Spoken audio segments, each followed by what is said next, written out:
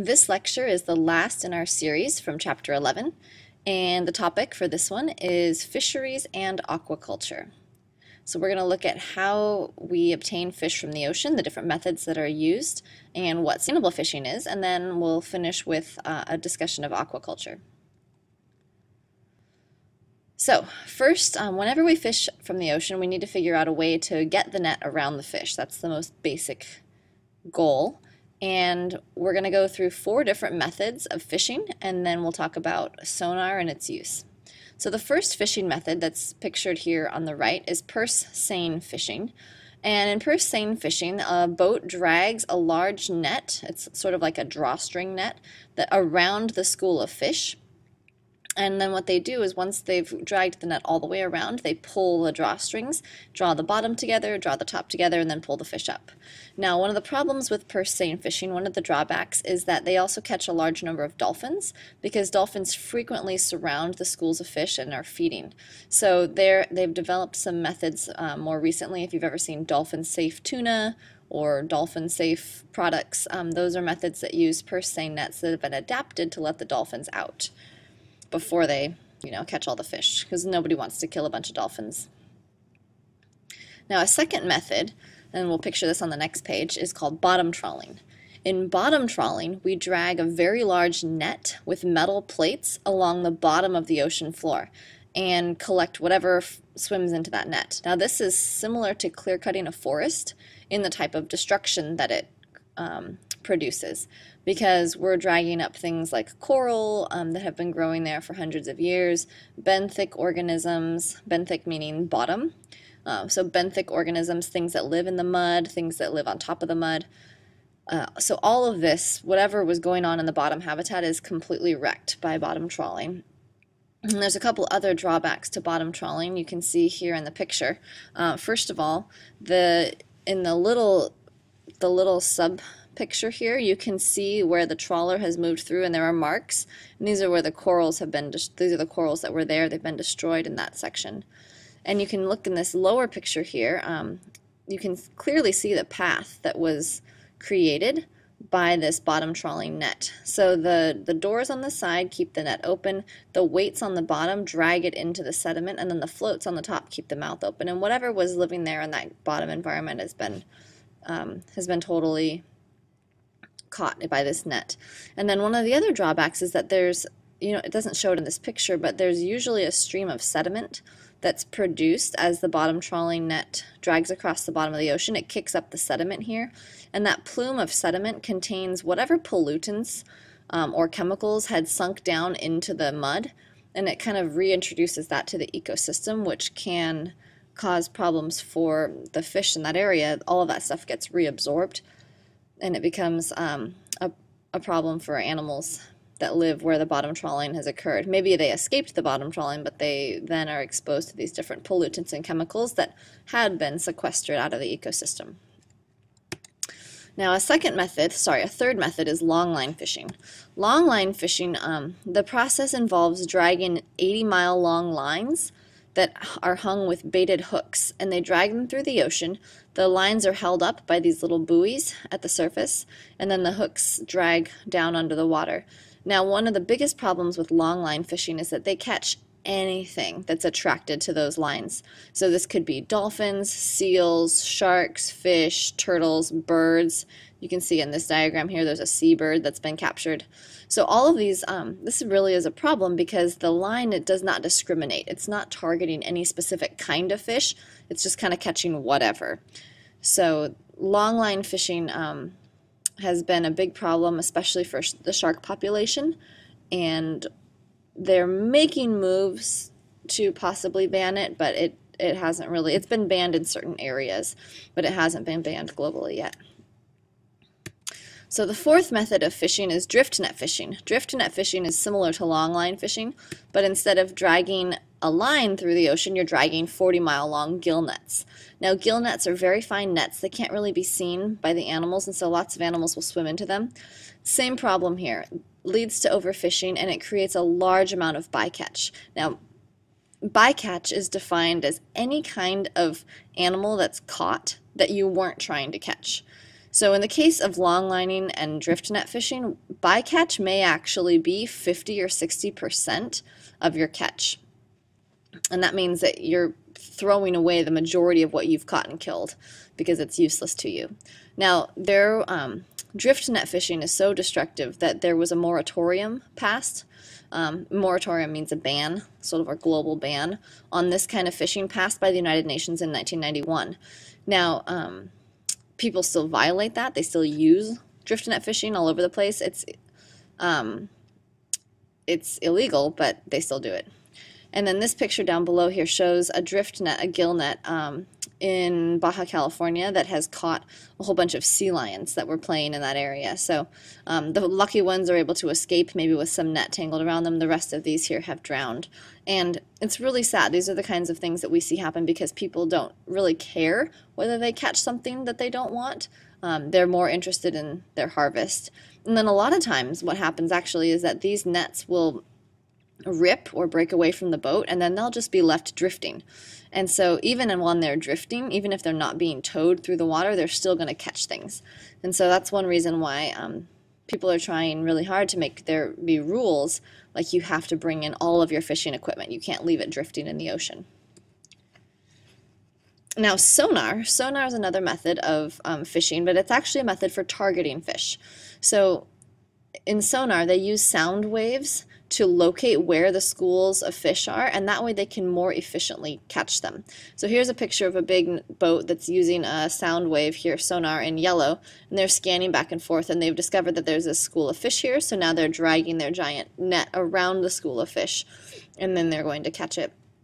Now the problem with sonar is that it makes before sonar it used to be sort of a, a skill to fishing like hey where are the fish likely to hang out how are we going to find them? We're not really sure. Gee, maybe we catch fish today, maybe we don't. But with the introduction of sonar into fishing, um, now it's just these giant factory fishing boats that can find, they can bounce from school of fish to school of fish. They never miss because they can see right where the fish are. So it takes all of the skill out of it and it also makes it a very lopsided battle. Um, one one scientist said that we're waging a war against fish and we're winning. So that's not something we want to have happen though because we want to have these fish around to eat. So sonar is one of those methods where it's not it's not destructive in and of itself necessarily, but it is making it much easier for fishermen to target the fish that they want and find the fish that they want, which makes them able to fish more, capture more fish. So quiz question for you. The fishing method which is most destructive to the benthic habitat would be A, longline fishing, B. Bottom trawling. C. Purse seine fishing. Or D. Drift net fishing. So go ahead and think about that. Um, think about what the word benthic means. That's important here. And if you haven't picked your answer yet, go ahead and pause so that you have a chance to think about it.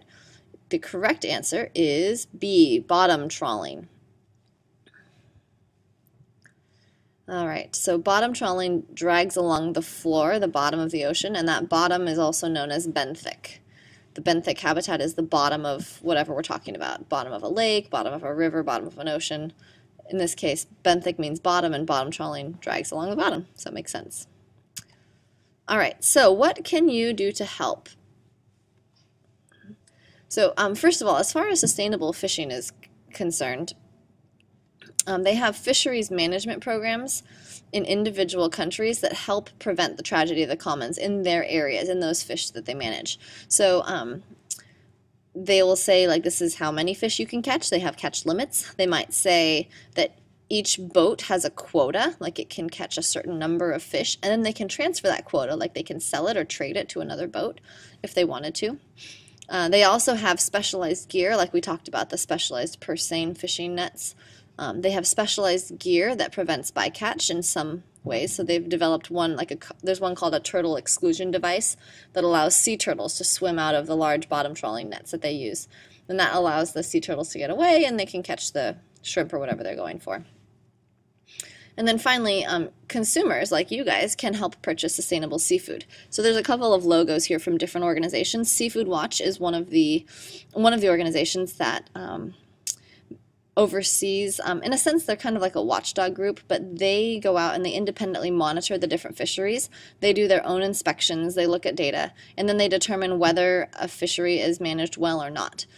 The Marine Stewardship Council does something similar. They certify whether seafood um, has been caught sustainably or not. And then we've got this like little logo here. These are the Whole Foods ratings.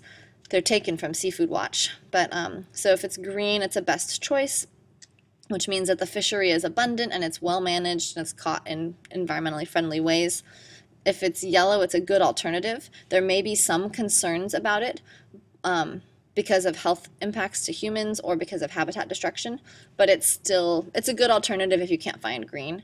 And then the red is for avoid. Um, that means that these fish are caught in ways that harm other marine life or the environment. You shouldn't eat them. And then they may have, you may see gray at Whole Foods if you go there to shop, and it'll say not yet rated. But that's, um, I haven't seen that when I've shopped. Usually you can find, um, I think actually if you go to Whole Foods, I'm pretty sure they don't even carry any of the avoid products. I think they carry mainly just the best choice and good alternatives, which is kind of nice. So aquaculture, what about aquaculture? Uh, fish farming, aquaculture is a type of fish farming. So aqua meaning water, culture to grow something. This is a way of raising fish in a controlled environment and harvesting them when they're large enough. So this picture here on the right is a picture of a bunch of little aquaculture pens along the coast, and each of those little squares has fish living in it, and they feed the fish and they give the fish antibiotics and whatever they need to do. It's sort of like a CAFO for fish in a sense. Um, it's a highly concentrated environment produces a lot of waste. We'll talk about the drawbacks. So benefits of aquaculture um, produces a high yield and it doesn't deplete wild stocks of fish directly. So if you're raising fish in aquaculture pens and you're not going out and fishing, then you're actually allowing some of those wild fish to continue to live. The drawbacks, though, are many. Um, so first of all, in a lot of aquaculture, there's a high input of antibiotics and nutrients. Um, so you could call this aquaculture. You could also call it fish farming. So they put in a lot of antibiotics and nutrients to feed those fish.